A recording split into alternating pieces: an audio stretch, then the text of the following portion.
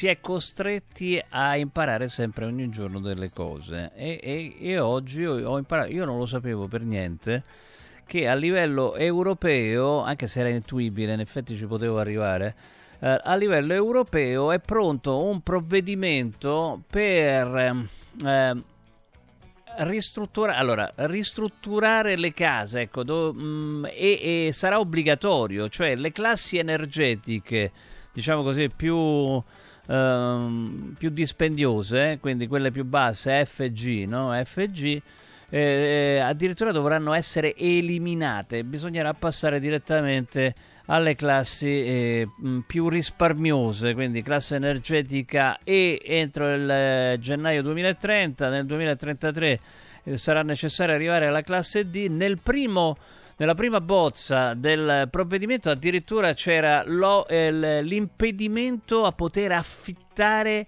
o vendere class, eh, case di classe energetica mh, mm, molto bassa, quindi F e, e G. E pensare che secondo il, i dati dell'Enea il 35% delle abitazioni in Italia sono di classe G quindi quella che, che, che, consuma più energia, un dato addirittura sottostimato perché diciamo così la classe energetica viene comunicata solamente se vendi o affitti o ristrutturi la casa, quindi probabilmente è più del 35%. Pensate a, quanta, a quante persone io tra l'altro manco so esattamente che classe energetica ho nella casa, con, con, condivido un mio dubbio. Quindi eh, di fatto le, quella stessa Europa che aveva detto che il super bonus era una cosa fighissima ci sta dicendo dovete cambiare eh, dovete cambiare le vostre case e insomma sarebbe il caso di farlo con il super bonus, mentre in Italia il super bonus viene sabotato. Allora ne parliamo con Roberto Cervellini, direttore generale di Class Action Nazionale dell'Edilizia. Ciao buonasera, Roberto. Buonasera Stefano, buonasera a tutti. Norbert Toth, cofondatore di Class Action Nazionale dell'Edilizia. Ciao. Buonasera. Sono stato troppo lungo? Spiega... Si è capito quello che ho detto? Sì, Benissimo. pare di sì. Pare di sì. Come se avessimo scoperto l'acqua calda. Eccolo qua, c'è subito la... Cioè, sì, perché eh, hai mai sentito parlare del piano Fit for 55? Certo. Ok, perfetto, quindi è da qualche anno che c'è, no? Certo, eh, però, però non detta... c'era niente di eh, obbligatorio, sì, mentre sì. adesso sta, in, sta diventando no no no, no no, no, no, no, no, anche lì c'erano degli obblighi, c'erano determinati punti e uno tra questi era la riqualificazione energetica, quindi che significa che tutti i, i fabbricati devono comunque raggiungere degli obiettivi prefissati al 2030, al 2033, al 2037, al 2000, eccetera, eccetera. Oggi la stanno inasprendo questa cosa, stanno dicendo ok, dal 13 marzo la direttiva è questa. Dovete raggiungere tutte le classi energetiche G devono salire in E entro il 2030, poi al 2033 devono raggiungere la D sì. e fino ad arrivare al 2050 che devono essere emissioni zero, quindi autosufficienti tutto quello che noi abbiamo fatto in parte e stavamo cercando di fare proprio con il super bonus. Tanto è vero che è una cosa ridicola inseguire la classe. Pensa tu, vai a fare i lavori, dici ok, raggiungo la E, benissimo. Poi una volta che hai finito il lavoro dici oh bacco, adesso arriva il 2033, devo aumentare un'altra classe, quindi ricominci a fare un altro lavoro perché devi migliorare la classe. Che cosa fai? Affronti di petto la spesa, ok? E per portarla alla classe energetica migliore. Così tu stai a posto fino al 2050. Tutti i cantieri che noi abbiamo fatto, che l'abbiamo portati in A4, non hanno più problemi. Sono a consumo zero, sono ad emissioni zero e sono autosufficienti e stanno a posto fino al 2050. E questo era stata pensata col DL 34 del 2020. Oggi scoprono l'acqua calda. Che cosa fa la politica? Mi, prendono, mi rubo un altro minuto. Che cosa fa la politica? Non dice ok, cavolo, allora ci dobbiamo organizzare perché dobbiamo assolutamente eh, risolvere questo problema e andare incontro a questa direttiva Unione Europea dei 27 Paesi membri, firmati e sottoscritto. No, che cosa dice? No, noi dobbiamo mandare i nostri ministri, la nostra Presidente del Consiglio a discutere perché dobbiamo dire che noi non ci stiamo, dobbiamo spostare questa misura. Cioè, poi, poi dici che gli italiani, ma, ma com'è possibile? Ma o ti adegui? O no, gli altri paesi che fanno allora? Vanno tutti a protestare? Sì, anche perché c'è il discorso del caro bollette che con una casa a emissioni zero non, non ci sarebbe più. Non hanno problemi di bollette, i nostri certo. clienti non hanno più problemi di bollette, non le pagano cioè hanno la produzione con i pannelli Certo. fotovoltaici e il solare termico e le pompe di calore, ormai sono autosufficienti. Il contatore del gas l'hanno completamente smontato e hanno i bonifici in entrata all'attivo che gli fa il GSE. Capito? Allora, Quindi, facciamo- eh, cioè- questo è molto chiaro. Allora, eh, Norbert, tu che insomma sei il più incazzoso, diciamo così, di, di Cande, dai, diciamo, class action nazionale dell'edilizia, puoi riassumere eh, qual è la situazione attuale? Cioè, allora, spieghiamo come state cercando di uscire da una situazione di oggettiva difficoltà. Ma allora partiamo dal fatto che purtroppo eh, sarò ripetitivo, ma e questa volta in particolare mi voglio riferire a Fratelli d'Italia e fare un appello anche all'onorevole De Bertoldi che è ben consapevole di tutta la situazione legata al blocco dei crediti fiscali. Noi pensiamo di parlare, discutere del Fit for 55 e di una transizione ecologica, ma ci dovrebbero spiegare con quali aziende noi potremmo farlo, visto che i dati in nostro possesso sono 100 miliardi bloccati prevalentemente ad aziende, ma non dimentichiamoci i 55-56 della pubblica amministrazione che deve, eh, che deve corrispondere, che non sta corrispondendo ad altre aziende, sempre nell'edizia per i lavori pubblici. Siamo arrivati a una cifra stratosferica di emergenza totale. Perché cosa succede? Se questa follia va avanti ancora per qualche mese, perché loro giocano allo stroncare il super bonus, la circolazione di crediti fiscali, tanto prima o poi si stuferanno, non stanno capendo che non è che la gente si stuferà, ci saranno i più grossi fallimenti collettivi di aziende mai visti nella storia della nostra Repubblica. E quindi poi dopo eh, sarà ancora più difficile rispettare eh, questa transizione energetica che l'Europa ci impone. Anche perché a livello europeo, tra le varie cose che raccontano eh, tra Eurostat, che tutte invenzioni a nostro avviso, c'è il discorso che la Commissione europea consiglia proprio il super bonus da applicare nel piano Fit for 55 Mm. perché hanno già verificato che lo strumento per loro è buono. Loro non sono nemmeno a conoscenza che il super bonus non esiste più, perché a tutti gli effetti il super bonus non esiste più. Ma fra quattro mesi, ma già abbiamo perso diverse aziende. Oggi, voglio dirlo, mi dispiace, noi piangiamo un coordinatore nazionale di class action.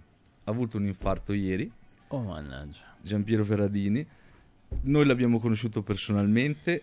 Io l'ho inserito in class action e sapevo esattamente della sua ipertensione che aveva continuamente perché lui lavorava, si occupava di, far, ehm, di fare da, da intermediario finanziario per le aziende e quindi le aziende lo stressavano perché eh, non riuscivano a, a- a- a cedere i crediti e lui si trovava in questa situazione che oltre a non incassare era mortificato anche verso alcune aziende.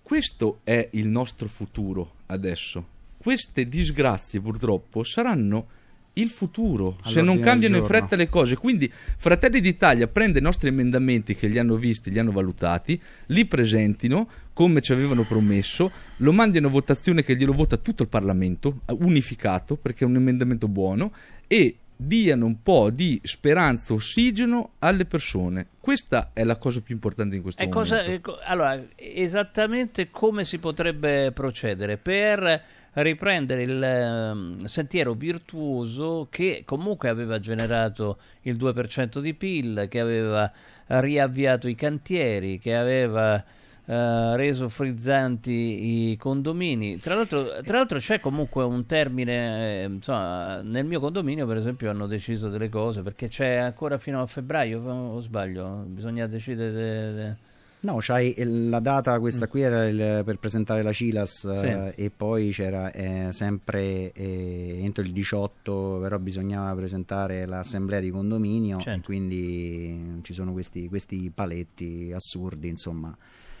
Poi si parla anche di retroattività, no? Il ministro Giorgetti dice non è una misura retroattiva. Beh, il, 2000, il 110 era portato al 2023, al 31-12-2023 l'hai ridotto al 90%, se non è retroattiva questa, io non, non lo so che, che, che intende per retroattività. Oh, allora, che cosa voi avete presentato delle proposte?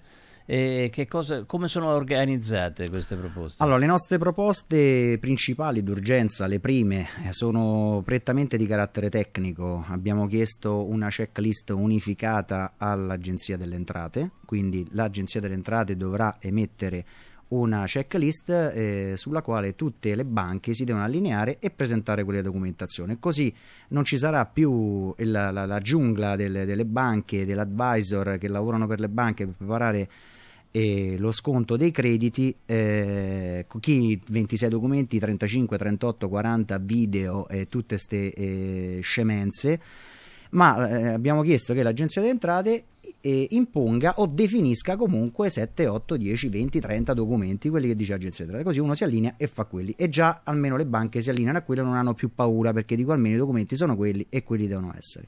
Abbiamo chiesto che venisse riaperta eh, la partecipata dello Stato, che è anzi è completamente dello Stato, eh, Medio Credito Centrale, Banca Medio Credito Centrale, per l'acquisizione dei crediti in prima istanza.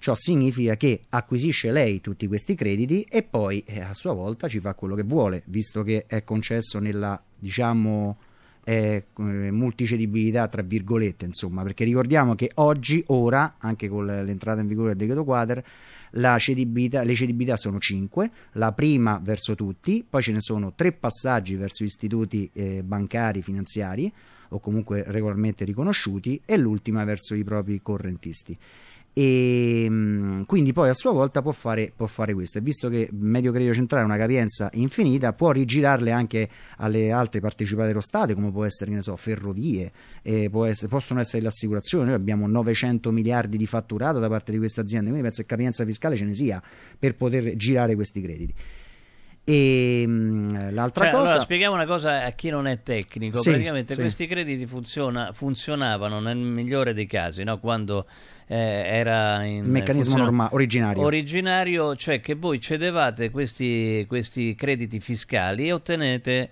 e Sì. ottenevate del denaro contante. Sì, eh, ottenevamo il la misura del 110, eh, um, al contrario di quello che eh, ci vogliono far chiedere, credere i politici oggi, che costa troppo come misura, eh, nasce proprio come 110 perché? Perché il 100% è l'importo che viene erogato all'impresa come eh, corrispettivo dell'appalto e il 10% sono gli oneri bancari. Ok?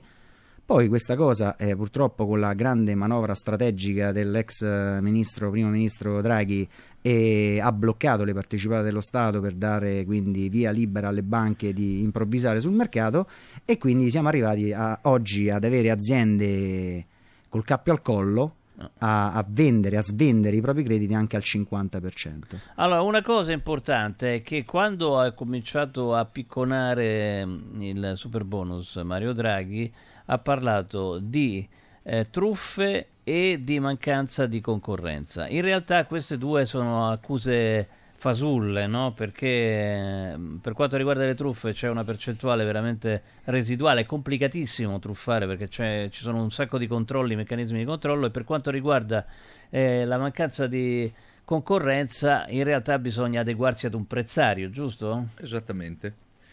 Allora, mh, tutte e due le cose sono- gli sono andate male perché le truffe purtroppo nel super bonus erano molto difficili, infatti i numeri sono stati molto molto bassi. Secondo me lui nella sua testa pensava ma ne troveremo, ne troveremo, ma alla fine c'era ben poco da trovare con tutti i certificati che servivano per generare un credito e con tutti i massimali di spesa che bloccavano che bloccavano certi tipi di, di- di- di imbrogli e quindi là gli è andata male, non ne parlano nemmeno più di truffe sul super bonus, quindi si sono messi tutti il cuore in pace. Poi eh, l'altra domanda qual era?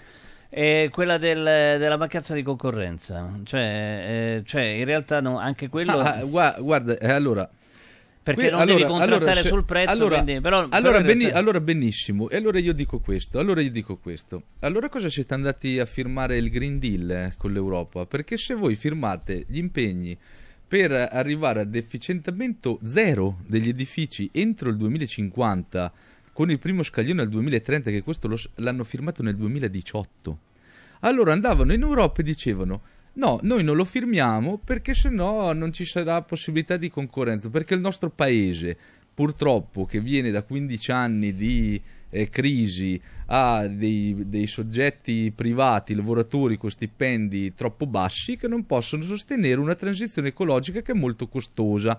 No, loro hanno firmato, quindi per me eh, va concepito come un grandissimo lavoro pubblico.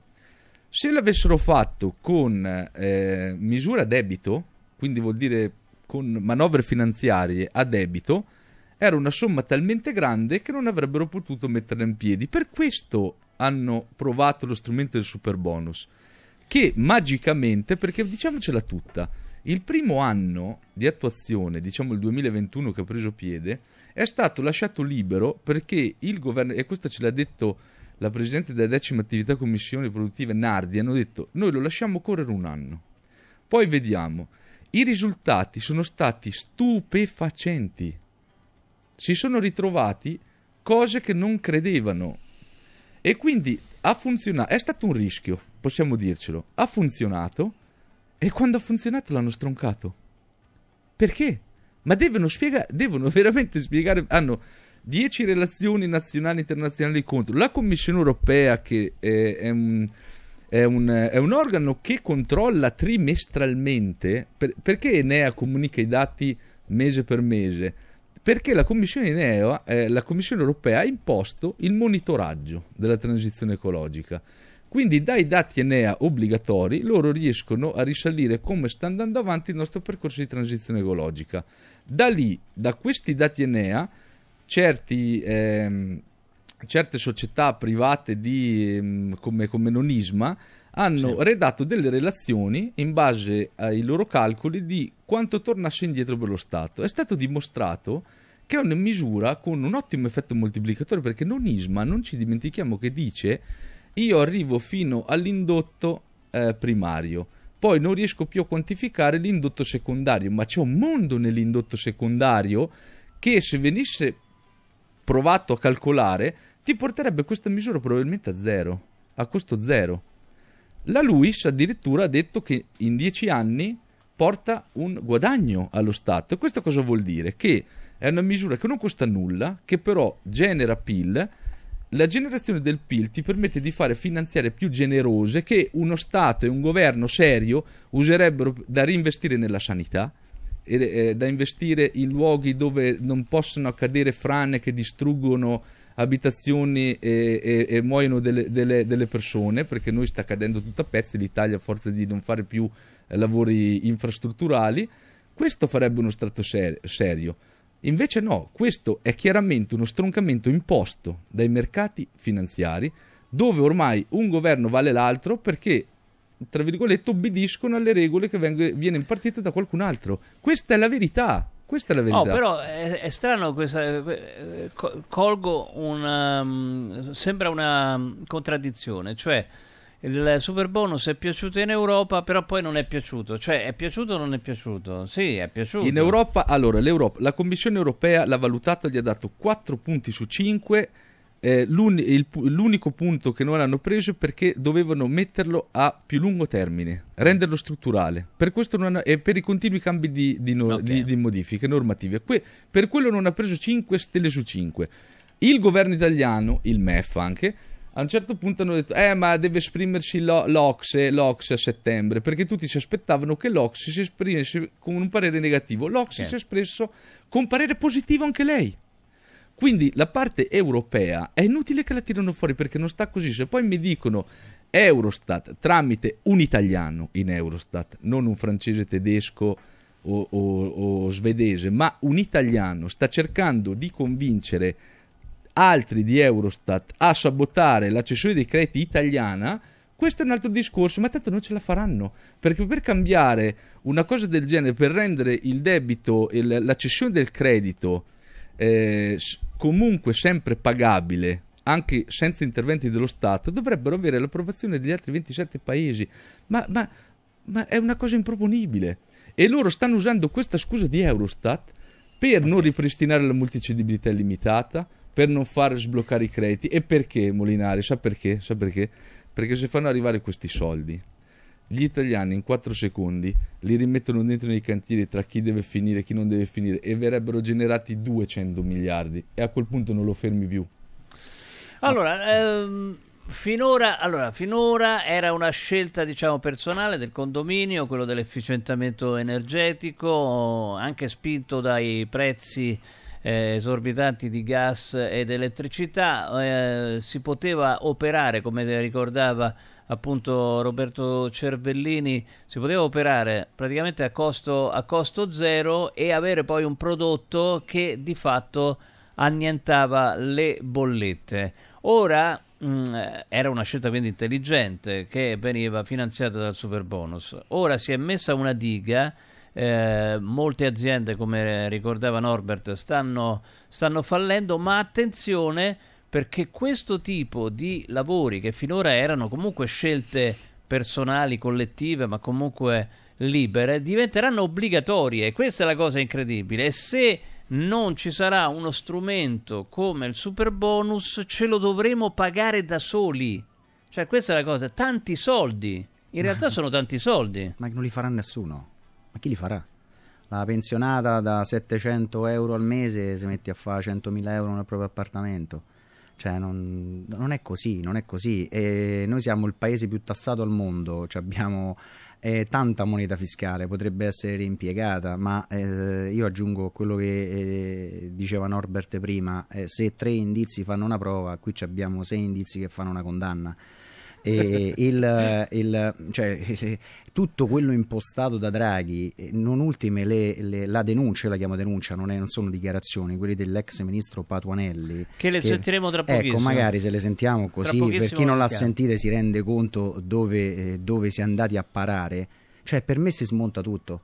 Nel senso, non, non dobbiamo neanche più parlare del, del, fatto che il super bonus possa essere positivo o meno, favorevole o meno. Cioè, è stato impiantato un sistema, un programma volto a demolire questa misura. Basta, lo dichiara l'ex ministro che allora, stava dai, seduto al tavolo. subito. Eh, sentiamolo, importante. Se eh, dalla regia sono d'accordo, tratto da Rete 3, se non ricordo male. Eh, sì, no, sì, non mi ricordo, andiamo, andiamo, andiamo, andiamo.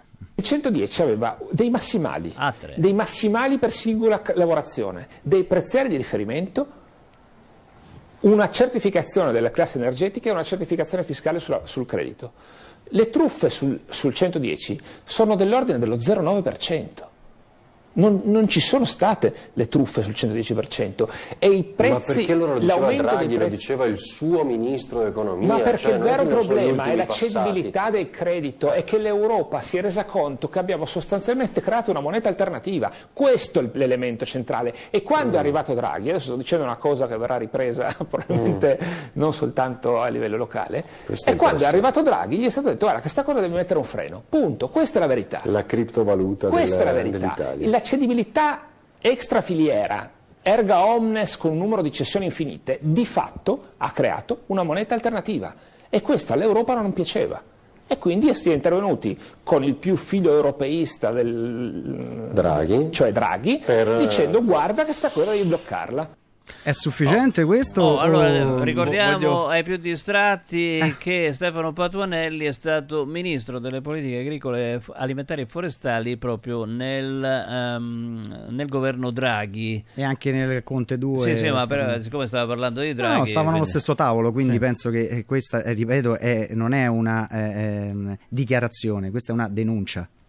Cioè, questa è una denuncia, parte informata sui fatti. Oh, ma, che, la, ma, che, di, che cosa vogliamo parlare? Capisco, ma di che cosa vogliamo parlare? La cosa che io non capisco è che adesso c'è una maggioranza che era contro, cioè, allora, mh, in cui la forza principale, siamo, cerchiamo di essere precisi, in cui la forza principale cioè Fratelli d'Italia, era contro il governo Draghi e in cui diciamo, uno degli alleati, la Lega, era dentro il governo Draghi ma era estremamente critico nei confronti dell'operato del governo stesso.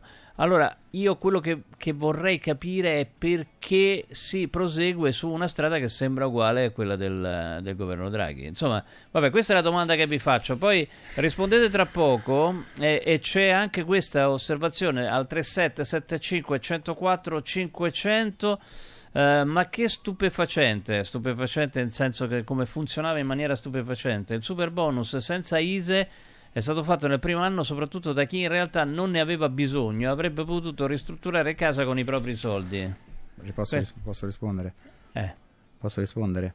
Allora, eh, la misura, eh, bisogna metterci in testa, sia noi cittadini che la politica, che la misura non nasce per fare il favore al cittadino italiano. Okay? La misura nasce perché la struttura fabbricato non deve più emettere CO2 e deve risparmiare.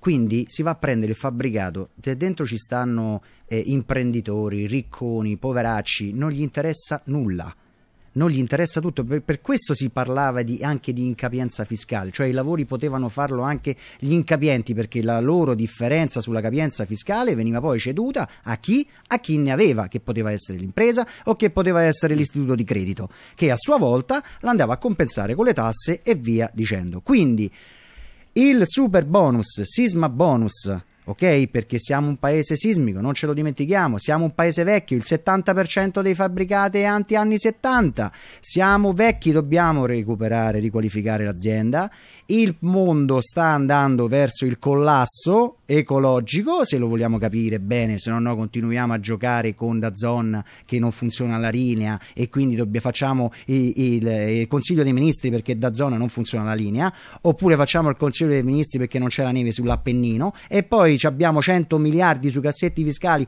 d'aziende che stanno chiudendo e non gliene frega niente. Allora, ma, allora è chiaro che c'è un piano a nascondere tutto questo, non è che siamo cretini, non siamo cretini. Allora gli imprenditori in primis, i professionisti poi e i cittadini piano piano ci stanno arrivando.